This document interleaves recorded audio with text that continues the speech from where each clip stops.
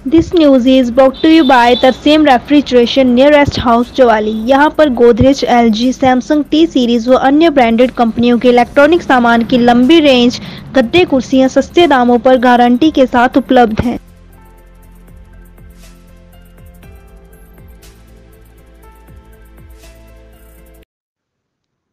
ज्वाली उपमंडल के अधीन ग्राम पंचायत बेही पठियार के गाँव जुगुणी में धृत राम पुत्र विक्ति राम की गौशाला में गत रात्रि आग लगने से दस मवेशी ज़िंदा जल गए। प्राप्त जानकारी के अनुसार धृत राम ने रात को घर के पास ही पशुशाला में अपने मवेशियों, भैंसों, गायों, बैलों, बेड़ बकरियों को बाँध रखा था कि अचानक सी आग लग गई। गाँव वासियों ने पानी इत्यादि डालकर आग पर काबू पाया, लेकिन तब तक सारे मवेशी जलकर मर चुके थे। राम ने बताया कि उसका लाखों का नुकसान हो गया है।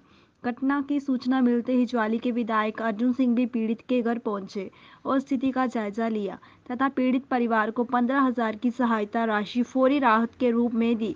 उन्होंने कहा कि आगे भी हर संभव सहायता करवाई जाएगी।